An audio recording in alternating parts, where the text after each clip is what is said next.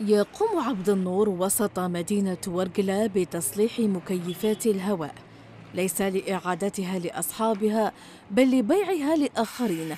لم يقدروا على اقتناء الجديدة منها بعد ارتفاع الأسعار.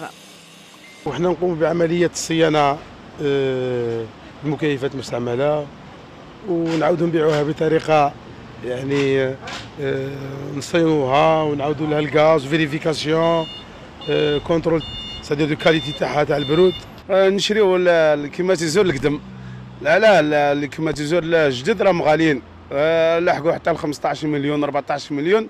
المواطن هنا ال- الورقلي البسيط ما يطيقش يشري. غلاء غلاء كبير جدا في في ال- الأسعار تاع surtout ال- ال- المواد الإلكترونية ال- ال- ال- المبرد الكهربائي. مما اضطر يعني الشعب اللي ما عندوش يروح يشري ال- ال- الحوايج القدي- القديمة.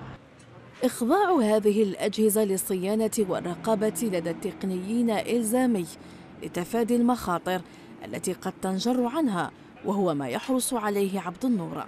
ندعو جميع المستهلكين إلى الاستعانة بتقني مختص في التبريد. حتى ضمان سلامة صحية وكذلك أيضا آه، ضمان آه، أكثر لهذه الأجهزة آه، في الاستعمال نتاعها وكذلك حتى في التركيبه نتاعها وفي في في وسط في وسط المنازل. اقتناء المكيفات الهوائية المستعملة.